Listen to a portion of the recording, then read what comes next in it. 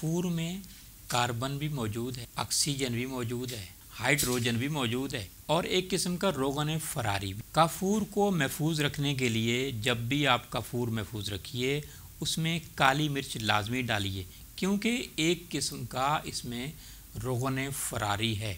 کافور جو ہے، بھنڈی، سنڈ، الائچی، دار چینی سے بھی حاصل کر سکتے ہیں۔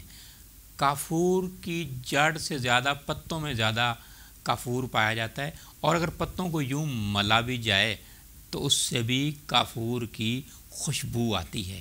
کافور کا مزاج درجہ سوم میں گرم اور خشک ہے اور درجہ چہارم میں سرد اور خشک ہے۔ مقدار کافور کی اڑھائی رتی تک استعمال کر سکتے ہیں۔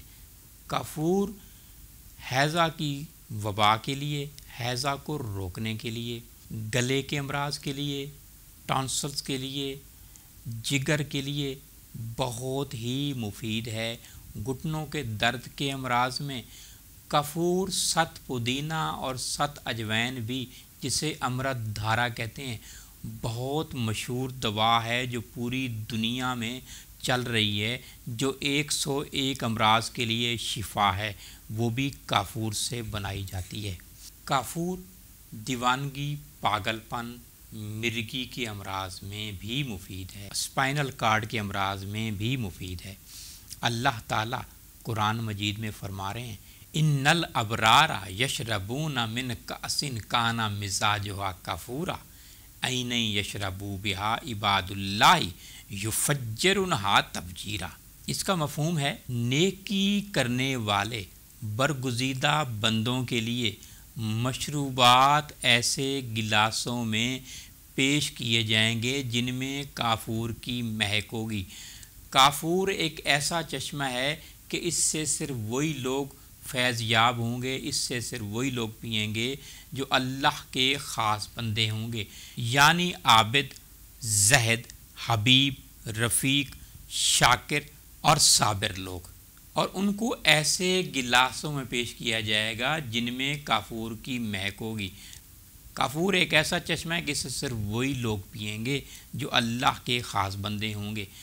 اور ان کو یہ سہولت بھی حاصل ہوگی کہ وہ اس پانی کو جس طرف چاہیں بہا کر لے جائیں۔ یعنی اس نہر کا، اس چشمے کا بہاؤ جو ہے ان کی مرضی کے مطابق ہوگا، سبحان اللہ۔ تو اس دنیا میں اللہ تعالیٰ نے ہمارے لیے جو کافور کا درخت بھیجا، اس میں شفا بھی ہے، دوا بھی ہے، غذا بھی ہے۔ ہم اس سے علاج کریں اور اللہ تعالیٰ کی اس نعمت کا شکر ادا کریں۔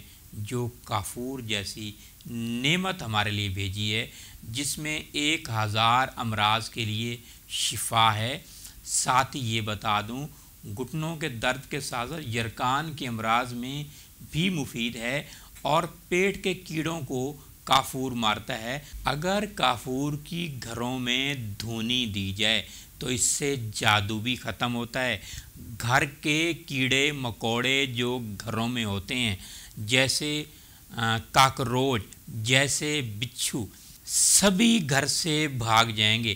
یہاں تک کہ کافور اگر سانپ کے سوراخ میں ڈال دیا جائے تو سانپ فوری طور پر وہاں ٹھنڈا ہو جاتا ہے۔ کافور پرانے زمانے میں ہم گھروں میں کپڑے میں بھی رکھتے تھے۔ بریف کیس میں، صندوق میں، تاکہ کیڑے نہ پڑ جائیں۔ کیڑے مارنے کا بہت عمدہ علاج ہے کافور۔ اس سے دیمک بھی نہیں لگتی اور پیٹ کے کیڑے مارنے کا تو بہت ہی بڑھیا علاج ہے۔ آئندہ میں آپ کو بتاؤں گا تفصیل سے کہ کن کن امراض کے لیے کافور آپ کیسے استعمال کریں۔